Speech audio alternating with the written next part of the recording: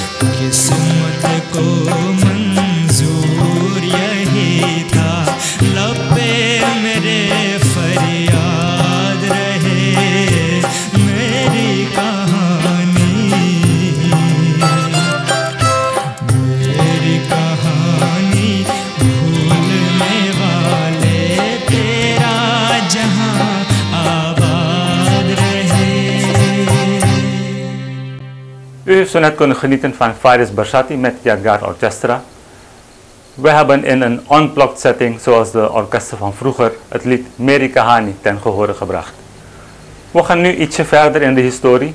Omstreeks jaren 60, begin jaren 60, kregen we een zekere Nadir Ayoub, meer bekend als Banda. Hij was mandolinspeler, hij speelde mandolin en nog heel wat andere instrumenten. En hij was ook componist. Hij was bandleider van de groep No Jawan Stars. En hij was als trendsetter een van de eerste personen die eigen composities, populaire composities, in de Hindustaanse taal ten gehore bracht. Een van de bekende uit die tijd, de mensen van mijn leeftijd en ietsje ouder zullen zich dat nog herinneren. Het lied Jab Tak Chamke Chand Sada. U krijgt nu een klein stukje van dit lied te horen.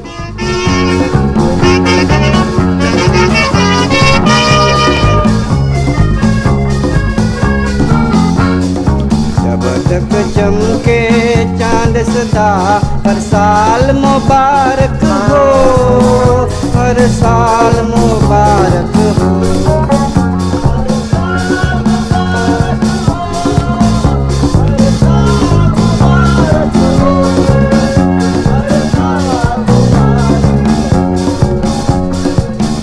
जब तक चमके चांद सदा हर साल मुबारक हो हर साल Ik मुबारक vertelde eerder al dat de orkesten vroeger uitsluitend akoestische instrumenten hadden.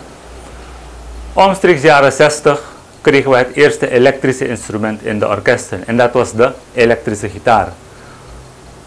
Hoe gebeurde dat? Rond die tijd kwamen de Beatles in opmars. een groep waarbij dus veel gitaar werd gebruikt. Ze werden internationaal populair, ook in Suriname. Onze Hindustanen zagen dat en ze wilden ook heel graag de gitaar hebben in hun groep. Dat was ergens in de jaren 64. De muziek veranderde toen, de klank van de gitaar, de speelstijl van de gitaar gaf een andere dimensie aan de muziek. We hebben het net gehad over de componist Nadir Ayub, ofwel Banda. Een andere bekende componist uit die tijd is geweest Gurdat Kalla Singh. Hij schreef ook heel wat teksten en ook een, een aantal vaderlandslievende liederen waar hij dus Suriname beschrijft. Eén daarvan was Suriname Hamara Pyara tekst van hem. En dat schreef hij in verband met 100 jaar Hindustaanse immigratie. In dit lied hoort u ook de speelstijl van vroeger, waar dus net de elektrische gitaar zijn intrede had gedaan. En eh, de basgitaar werd in die tijd nog niet gebruikt, of in heel weinig orkesten gebruikt. We laten u nu een klein stukje horen van Suriname Hamara Pyara Desh van Gurudat Kalla Singh.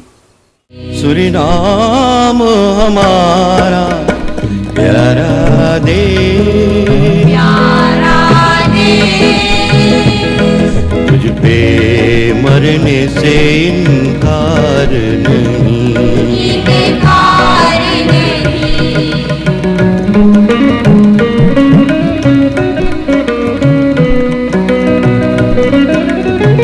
तुझ पे बली बली जाएँगे वो मेरी माता। जाए जान भले ही जाए, देंगे हम ये ये संदेश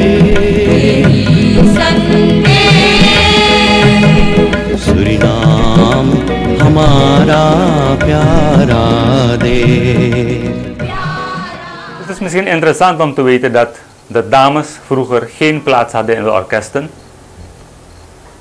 Vrouwenliederen werden dus door mannen gezongen, of ze werden als, in, als eh, instrumentaal nummer ten gehore gebracht. En wat ook wel gebeurde, is dat men hele jonge jongens eh, benaderde om dus vrouwenliederen ten gehore te brengen. Dus als ze nog 10, 11 jaar zijn en ze nog niet de mannenstem hebben, hebben ze nog hun hoge kinderstemmen en dan brachten ze dus vrouwenliederen ten gehore. Gelukkig is dat tegenwoordig anders. We hebben heel wat goede zangeressen in Suriname, al sinds een aantal jaren. Wanneer zijn die begonnen, daar komen we straks op terug. We vragen nu een van onze jonge zangeressen, Ilham Ahmed Ali, om een prachtig en bekend lied ten gehore te brengen. En dat is een van de liederen die reeds door de eerste orkesten in Suriname werd gespeeld. Uw aandacht voor Ilham met Yadgar Orchestra.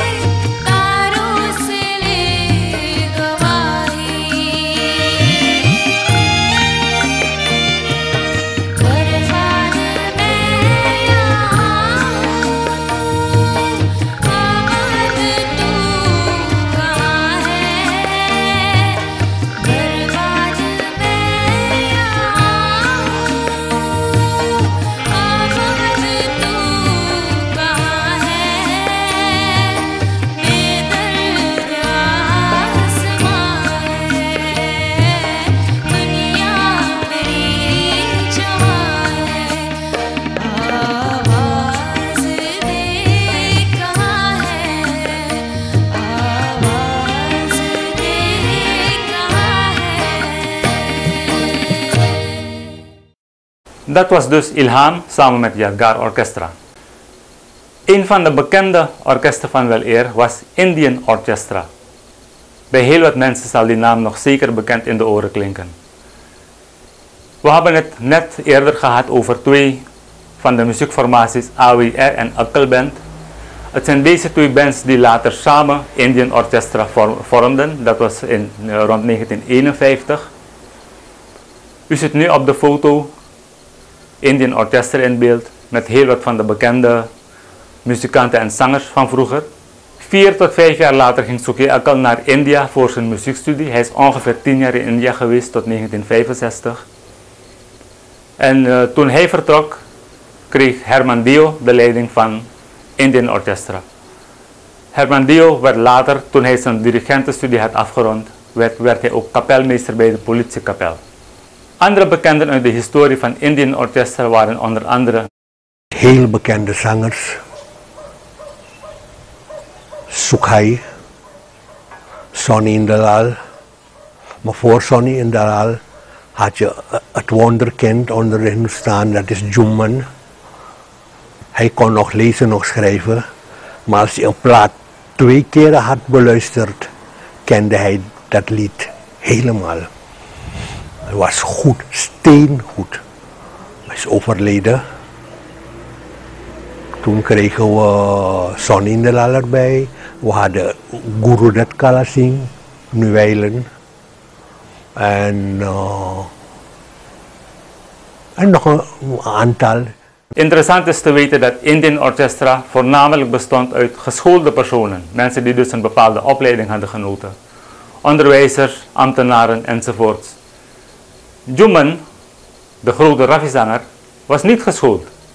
Hij kon niet lezen, hij kon niet schrijven, maar vanwege zijn zangtalent werd voor hem een uitzondering gemaakt en mocht hij dus toch nog deel uitmaken van Indian Orchestra die voor de rest uit allemaal geschoolde mensen bestond. U krijgt nu in beeld een foto van Suki Akal. Ik vertelde net dat hij voor zijn muziekstudie naar India was. En toen hij terugkwam, heeft hij dus een tv-programma bij STVS gegeven. U ziet nu die foto in beeld, die dus rond 1966, 67 gemaakt is. Is ook interessant te weten dat deze grote zoon van Suriname, Suki Akal, tijdens zijn periode in India in een aantal films eh, muziek heeft gespeeld samen met het orkest van de muziekdirectors Shankar Jaikishan. Onder andere het, in, in film Anari, het welbekende lied Sab Kuch Sikha Hamle met de hele moeilijke accordeon solo daarin. Die accordeon solo is door Suki Akal gespeeld. सच है दुनिया वालों के हम हैं अनाड़ी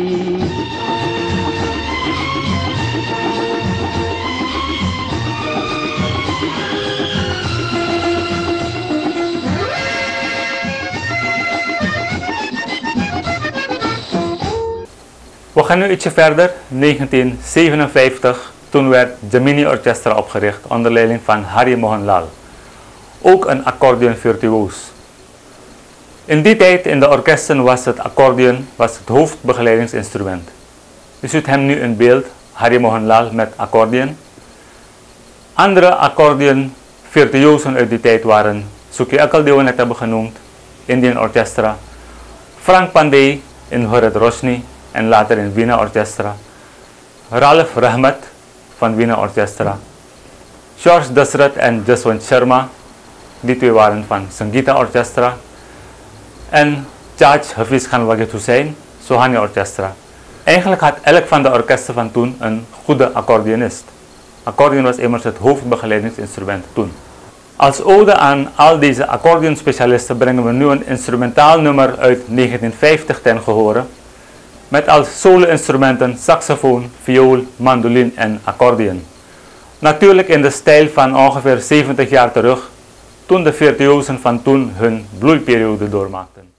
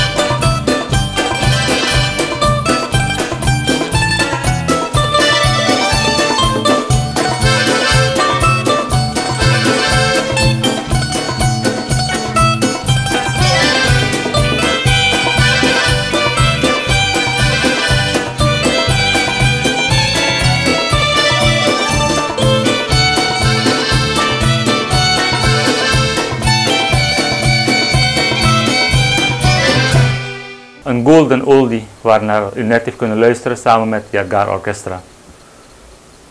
We hebben het eerder al gehad over lokale Hindustaanse composities in de populaire muziekstijl. Na Nadir Ayub en Gurudat Kalla Singh zijn er nog heel wat andere componisten geweest. Eén daarvan was Thakur Prasad Bikhari, meer bekend als Teha Bikhari. Vader van de welbekende Ronnie Bikhari, die bandleider is van Aviskar Orchestra in Nederland. Teha Bikhari heeft met, samen met Sohani Orchestra, waarvan hij de bandleider was, in de jaren 70 een LP gemaakt met eigen composities. Deze LP geldt als de eerste LP van Surinaamse bodem, waarop dus uitsluitend Hindustaanse composities te horen zijn. Hierbij kan ook vermeld worden dat Sohani in de 70er jaren naar Trinidad is geweest voor een contest. Een contest tussen muziekformaties uit Suriname, Trinidad en Guyana. En interessant te weten dat Sohani op Trinidad een compositie van Teha Bikhari ten gehore bracht en met een beker terugkeerde naar Suriname. Een van de hoogtepunten uit de historie van Sohani en van Teha Bikhari. U ziet nu op de foto een deel van Sohani Orkest, gemaakt op Sanderij, kort voor ze naar Trinidad vertrokken. Op de foto zit hij onder andere in beeld Teha Bikhari en Hafiz Khan Wagit Hussein. Een andere lokale compositie die nog steeds heel populair is, is Yemilan Barapiara. Een compositie van de heer Waldo Gusial, dat hij had geschreven rond 1977 voor zijn echtgenote die jarig was. Hij was zelf geen zanger, dus hij heeft het laten zingen door Charles Palat. U kunt hem allemaal uit de politiek, Charles Palat, maar hij is ook een van de bekende zangers van vroeger geweest. En hij heeft dus samen met de groep De Osmis in Torarica dit nummer van Waldo Gusial als eerste ten gehore gebracht. We laten u een klein stukje van Jemilen Barapiara horen, deze opname. Hier wordt het ook gezongen door eh, Charles Palat.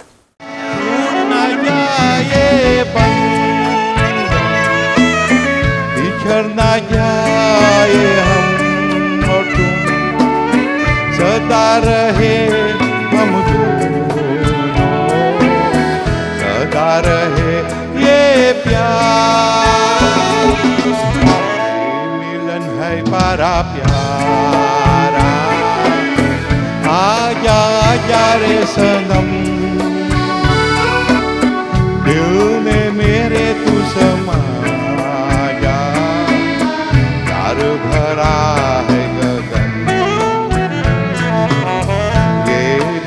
है बड़ा प्यारा आजा आजा रे सनम दिल में मेरे तू समा जा प्यार भरा है गगन Een andere prachtige lokale compositie was Mate di Chernome, geschreven door Teha Bikhari, muziek van Hafiz Khan Waget Hussein en het werd gezongen door Uday Bhan Like Singh. Dit nummer werd zo populair dat het zelfs in India in een film is verschenen, in de film Kisan. Met dit nummer won Sohani Orchestra het Orkestencontest in het jaar 1974. We komen later terug op deze contesten. U krijgt nu te zien een klein stukje van Mate di Chernome.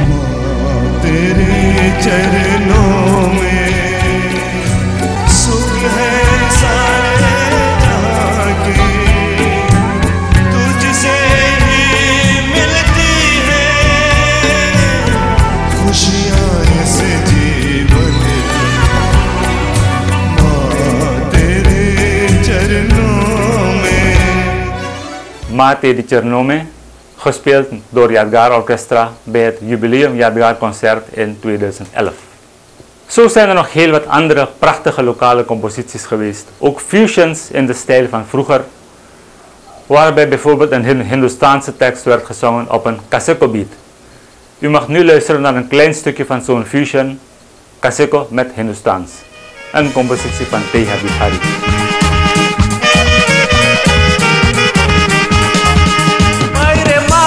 Baraiya हमें छेदिस मायरे माई बरैया हमें छेदिस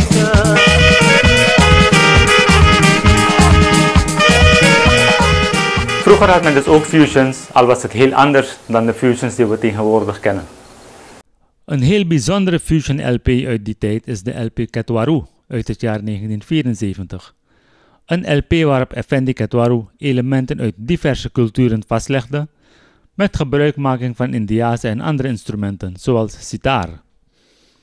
Daarbij bijgestaan door Jenul Ketwaru op tabla, Nadia op tempura en Evert Derks op viool. Een van de oudste voorbeelden van interculturele fusion in Suriname. We laten nu een fragment uit deze LP horen, het welbekend Sranantongo lied Faya Sitono Bromiso op sitar en viool.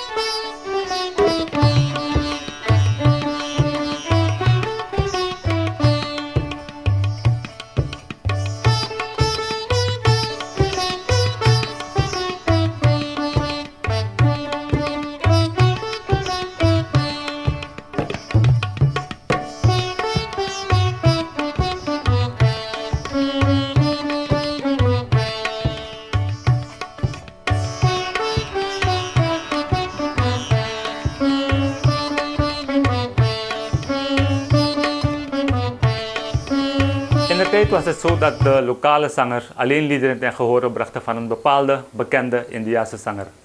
Je had dus speciale zangers die Rafi-liederen zongen, speciale zangers voor Mukesh-liederen in de, in de orkesten van toen, speciale zangers voor Kishore-liederen, Hemant Kumar, Manna Dey enzovoorts. Een bekende Hemant Kumar-imitator van toen, die af en toe nog zingt, is Dole Jumrati. Maar vooral Singh was vanwege zijn stem bekend als de Hemant Kumar zanger van vroeger. Bekende zangers van Talat-liederen waren bijvoorbeeld Hanif Sahibzad, Nasim Niyamat en Raman Lachman. En bekende Manna Dey-imitators zijn geweest Kumar Bachcha van Melody Stars en de heer Bis Sukhai van Indian Orchestra.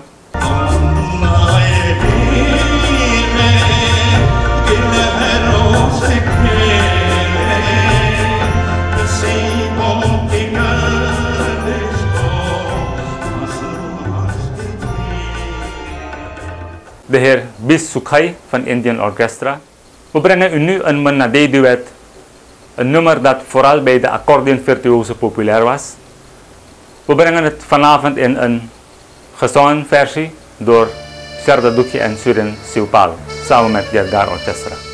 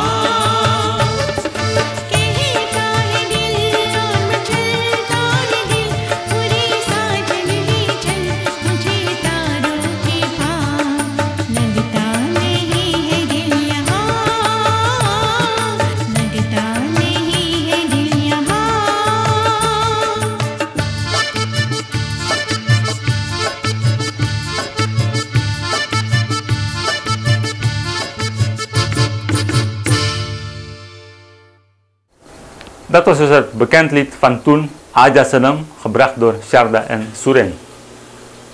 Populaire imitators van Mukesh-liederen van vroeger waren onder andere George Bhola en Brijlal Kalpu van Indian Orchestra. We hadden Hari Lachman, Jamini Orchestra, Bisnath Triloki en Dolph Badal Singh van Veena Orchestra. En we hadden een van onze living legends, Ram Narayan Siuram. Ram Narayan begon zijn zangcarrière rond 1965 bij Naya Tarana Orchestra. हमारा एक दोस्त रहा पौलस चुम्बन जो का नाम रहा और वो हमके हरदम सुनत रहा कि हम गाना मुके से गाना गुनगुनाएला गाएला तो पौलस चुम्बन हमके ले गए नया तराना अगले खबों में और हम लोग में परिचय भई योहानस कार्य बख्श से बैंड लीडर रहा और बातचीत भैल और वो लोग हमें पूछिस कि तू ऐसा सन गाना जाने हैं एक step.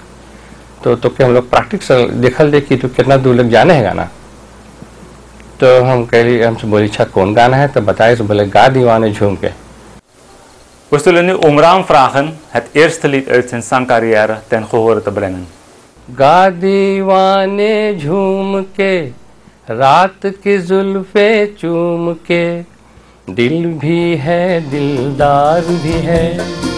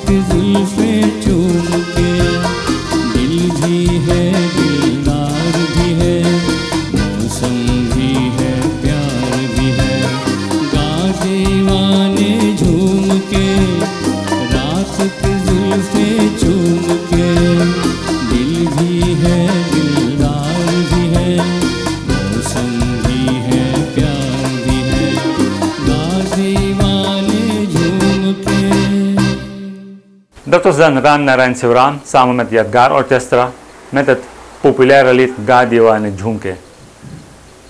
Zoals ik eerder vertelde was accordeon het hoofdinstrument in de orkesten van vroeger.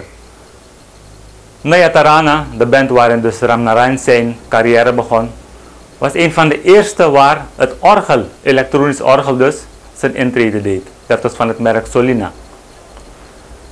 Naya Tarana samen met Indian Beats van de gebroeders Kanhai en Wadia Stars van Charles Palat, dat waren de eerste drie groepen waar het elektronisch orgel zijn intrede deed. U ziet nu op de foto Naya Tarana met hun orgel. Naast liederen van Mohammed Rafi en Mukesh waren ook liederen van Kishore Kumar heel populair.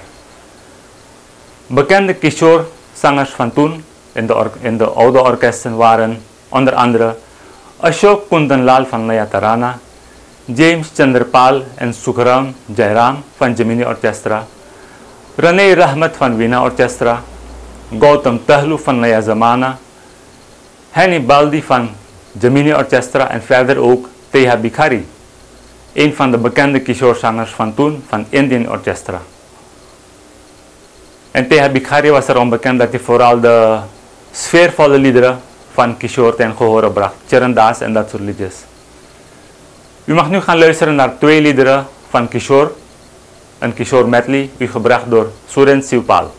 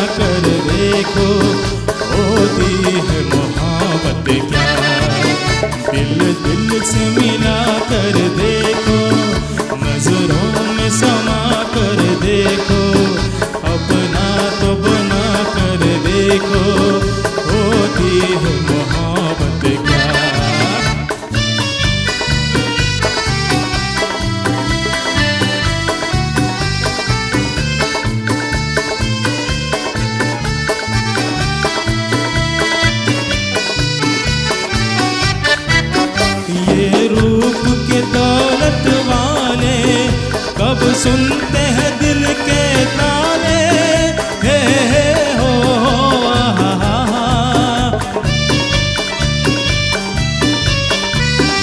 ये रूप की दौलत वाले कब सुनते हैं दिल के नाले। तकदीर ने बसने डाले। इनके किसी वाने को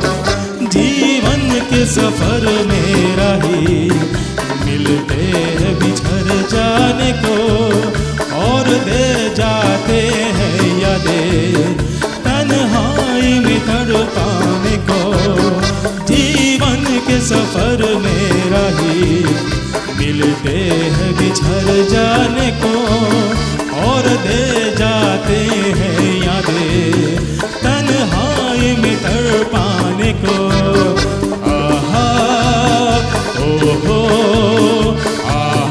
हो हो हो हो Suren Sivpal met de liederen Dil Dil मिलाकर देखो en जीवन के सफ़र।